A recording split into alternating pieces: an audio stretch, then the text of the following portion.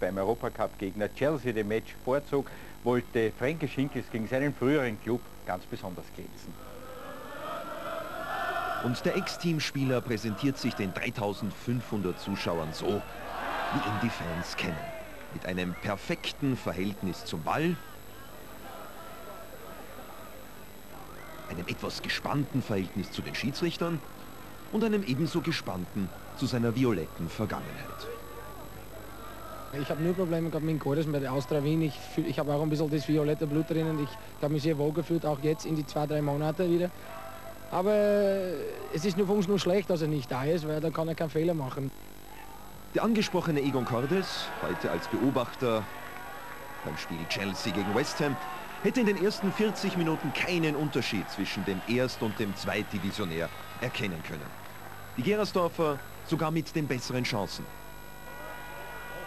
Nach dieser Attacke von Chuck an Griesler wollen die Niederösterreicher einen Elfmeter sehen. Der Pfiff des Schiedsrichters bleibt aber aus. Und Austria Co-Trainer Ernst Weber orakelt bereits mit dem Gras. Wir steigen auf, wir blamieren uns, wir steigen auf, wir blamieren uns. Und dann wird er erlöst. Fünf Minuten vor der Pause entscheidet Schiedsrichter Liebert nach diesem Foul an Melde auf Elfmeter für die Austria. Quasi ohne eine Chance gehabt zu haben, geht der Titelverteidiger 1 zu 0 in Führung, denn Kapitän Manfred Schack lässt sich diese Chance nicht nehmen. Knapp nach der Pause die Entscheidung. Nach herrlichem Doppelpass erhöht Narbekovas auf 2 zu 0. Damit war die Gegenwehr der Gerasdorfer gebrochen. Die heißesten Szenen in diesem Spiel, die folgten aber erst.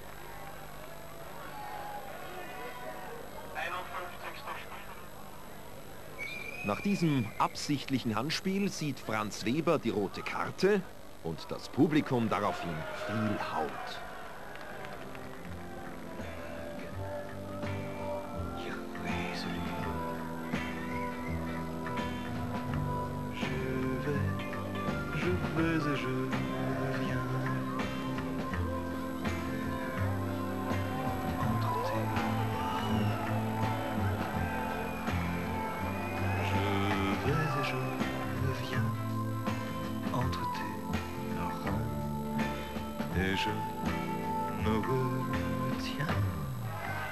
Nach dieser Einlage folgten noch zwei Tore der Austria, nämlich jenes von Prosenik in der 62. Minute und sechs Minuten später das schönste des Tages, Treffer Nummer 2 von Narbekovas zum Endstand von 4 zu 0.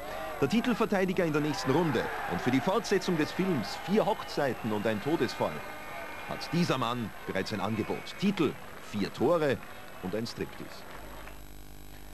Ja, und der Tabellenführer der Regionalliga Vorarlberg, der FCH, der spielte gegen den Linzer ASK und feierte da